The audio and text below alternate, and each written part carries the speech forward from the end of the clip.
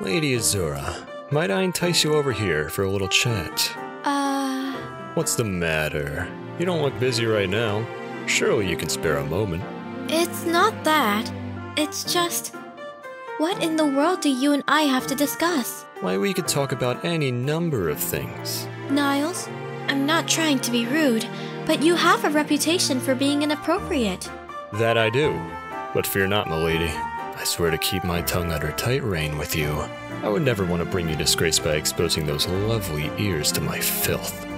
Are you being serious? You have my word. I have to confess, I'm a little shocked. I never knew you could be such a gentleman. Well, give me a chance sometime. There's more I'd like to explain, but not just yet. All right, Niles, I'll wait. Lady Azura, I'm sorry I left you hanging the other day. Our conversation ended on a mysterious note, didn't it? Let me explain. You see, I believe that you and I are cut from the same cloth. Do you? And how exactly is that? Well, you don't have to look so horrified. At least allow me to finish. You and I have both experienced real suffering, unlike most of the idiots we know. What do you mean? As a child, I was abandoned by my parents and had to fend for myself in the slums. Before Lord Leo accepted me as his retainer, I was literally living in the gutter. I had no idea. It's left me a low tolerance for people who lack compassion. I cannot stand shallow people. I try to avoid them at all costs. I understand. I know you do. I can tell that you were different from the others, milady.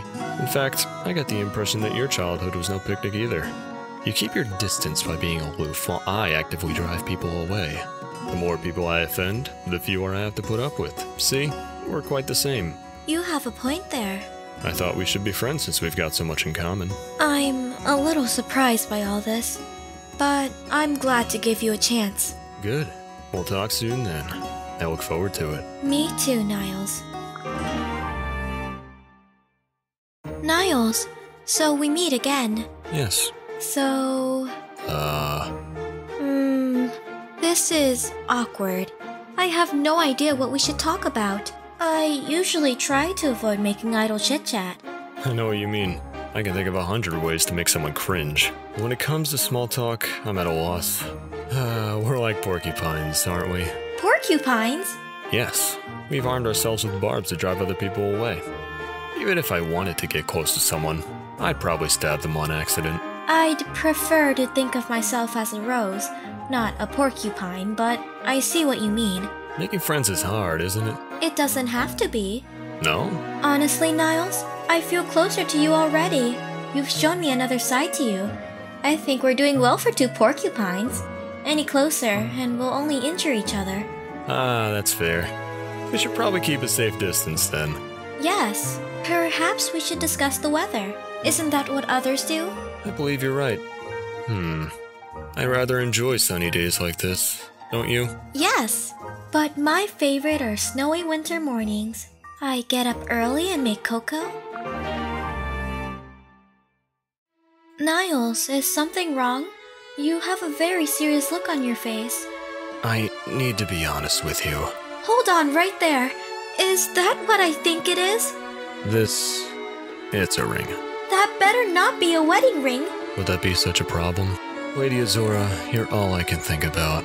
Let's slow down for a minute and discuss this like two reasonable adults. Niles, I do have feelings for you, but we've barely managed to discuss the weather. It's like you said. If we get too close, we'll only end up hurting each other.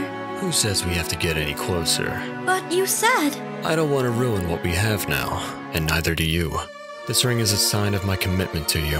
I want to be with you forever, even if it must be from a safe distance. Do you really mean that? I'm so grateful we found each other. I'll treasure this ring. And you. Always. Thank you, my lady. I never expected to find such happiness.